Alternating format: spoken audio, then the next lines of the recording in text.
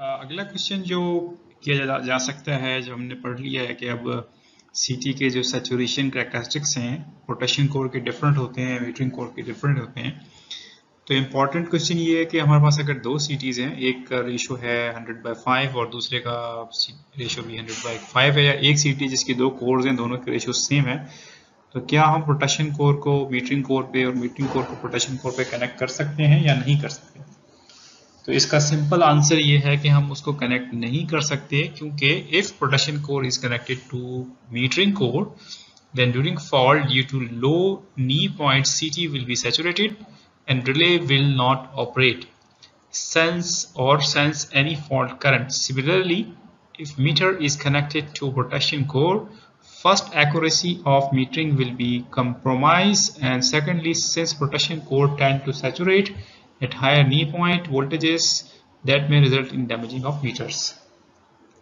तो जैसा कि इसमें हमने यहाँ एक्सप्लेन किया है कि जो प्रोटेक्शन कोर है, उसका नी पॉइंट हाई होता है देर से सेचुरेट होती है, और जो मीटरिंग कोर है, वो जल्दी सेचुरेट हो जाती है, क्योंकि हम नहीं चाहते कि मीटर्स फॉल्ट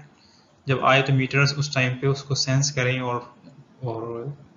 बेसिकली रिक्वायर्ड नहीं है। तो मीटर्स मीटरिंग कोर जो होती है, वो फोकस कर रही होती है एक्यूरेसी पे सो एक्यूरेसी क्लास उनकी हाई होती है। वो उसी तरह से डिज़ाइन किए जाते हैं, जबकि जब फॉल्ट जब करंट बढ़ता है ख़ास वैल्यू से मीटरिंग्स के अंदर तो वो सेचुरेट हो जाते हैं, जल्दी सेचुरेट हो जाते हैं। हम नहीं चाहते कि ड्यूरिंग फॉल्ट कोई करंट मीटर्स को फ़ीड हो और वो उसको सेंस करें। और ना मीटर इस तरह डिज़ाइन होते हैं कि हाई फॉल्ट करंट को एब्जॉर्ब कर सकें। इसके बरक्स अगर प्रोटेक्शन कोर है तो हमने उसको डिज़ाइन किया होता है इस तरीके से कि वो हाई फॉल्ट पे उसको फॉल्ट को एब्जॉर्ब कर सके करंट को और उसको रीड कर सके। मिसाल के तौर पर फाइव पी ट्वेंटी अगर प्रोटेक्शन क्लास है जो कि हमारे यहाँ नॉर्मली के में यूज़ होती है तो five P twenty means five percent error will be there will be a 5% error or the error will be within 5%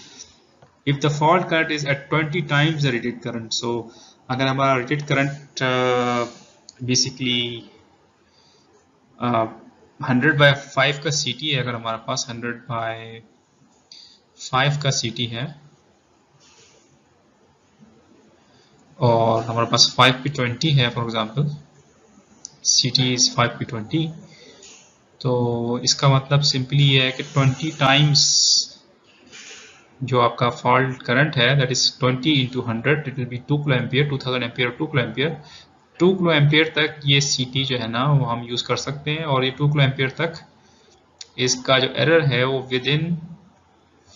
five percent होगा। इससे ऊपर जो है ना, वो उसका एरर ज़्यादा होगा और सिटी सेचुरेट भी हो सकता है। तो इसलिए इससे हम इस नतीजे पहुँचते हैं कि जो प्रोटेक्शन कोर है, वो प्रोटेक्शन पे कनेक्ट होती है और जो मीटरिंग कोर है, वो मीटरिंग पे कनेक्ट होती है। हम उसको वाइस वर्सा कनेक्ट नहीं कर सकते।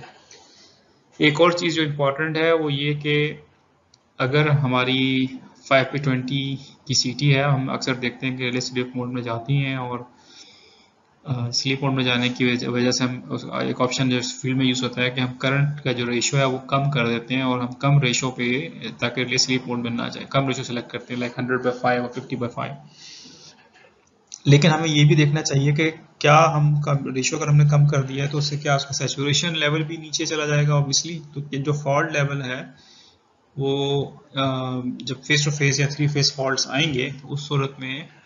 क्या रिले सी सेचुरेट तो नहीं हो रहा? तो आप ये ऑब्ज़र्व कर सकते हैं फ़ील्ड में कि जब हाई फॉल्ट लेवल आया है और लूप नहीं निकला और आपका जो प्राइमरी ग्रिड स्टेशन का फीडर था वो वो वो निकला है तो उस सूरत में आप ये अंदाज़ा लगा सकते हैं कि जो लूप का फीडर है उसका रेशियो कम है तो वो सेचुरेट हो गया और उसने सेंस ही नहीं किया। तो ये एक जस्ट एन आइडिया आपको दे रही है कि जिसके ज़रिए आप इसको भी फ़ील्ड में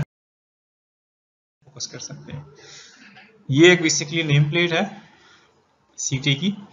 इसमें आप देख सकते हैं कि ये सीटी की प्राइमरी साइड है P one this is the P1 and this is the P2 ठीक है, और ये इसकी सेकेंडरी साइड है S one and S two यहाँ 2S1 2S2 जो पहला वन है, वो शो कर रहा है कोर ये कोर नंबर वन है two means core number two है। सेकेंड न्यूमेरिक जो डिजिट है, वो शो कर रहा है इसकी polarity one and two is polarity of the core तो यहाँ दो कोर्स हैं बेसिकली एक कोर प्रोटेक्शन है, एक मीटरिंग है। तो आप देख सकते हैं दोनों के रेशो सेम है इसके अंदर 200 by one two by one और प्राइमरी टर्मिनल सेकेंड टर्मिनल्स भी मार्किंग भी की गई है। बर्डन देख सकते हैं दोनों का सेम है 30 30 वी है। और क्लास जो है ना, वो एक्यूरेसी क्लास 0.5 परसेंट एरर इसमें आप दिखा रहे हैं। वो है, इसकी 5 परसेंट एरर है। Instrument security factor 10 less than 10 है। और एक्यूरेसी लिमिट फैक्टर इसका एप्लीकेबल नहीं है, ये 20 है इसके अंदर। ये 20 टाइम्स तक जो है ना, ये एक्यूरेटली काम कर सकता है। Rated within five percent अगर इस पर रेटेड बर्डन कनेक्ट हुआ हुआ है। तो ये बेसिकली नॉलेज थी इस चीज़ को टेस्ट करने के लिए कि हमारी जो कोर है मीटरिंग कोर मीटरिंग भी लगी है प्रोडक्शन कोर प्रोडक्शन भी लगी है टेस्ट भी किया जाता है, जिसे कहते हैं कोर वेरिफिकेशन जो हम अगले लेक्चर में देखेंगे। Thank you very much